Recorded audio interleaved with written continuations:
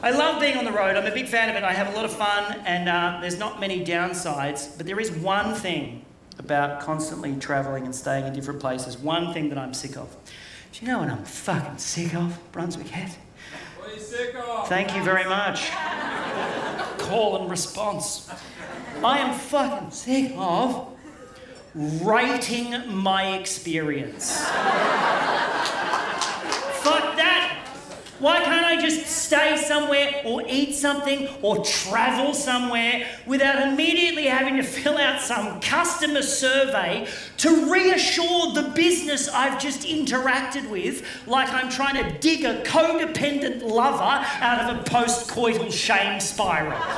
Did you, did you have a nice time? How was it for you? What can we do better? What's wrong with us? What's wrong with us? Fuck that! I mean, look, by all means, provide an avenue for complaint. Like, if I'm unhappy, I'll be the first to write a strongly worded email or perhaps slip a crude drawing into a suggestion box. But if you don't hear from me, just assume everything was fine, our transaction is complete. Fucking back yourself! It's everywhere now. There's touchscreens now at the airports. They feature like a, a spectrum of emojis. So you press the face that's closest to your own face, having just experienced whatever your face has just experienced. They have them outside the toilets at international airports. Touchscreens! Outside the toilets!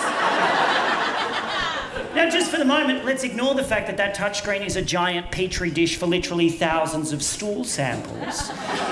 I still resent having to rate my experience of going to the fucking toilet. Oh gosh, okay, I've got to do this script. No, guys, I'll catch up. Yeah, no, I'll get the next flight. I just have to do the script. Okay, uh, here we go. Okay, golly gosh. Um, all right. Uh, which face most accurately depicts my emotional state, having just taken a shit at the airport. Um, oh, this is tough. I can't choose between tragically desperate or shamefully humiliated. Oh, bugger it. I'll just go with I didn't wash my hands.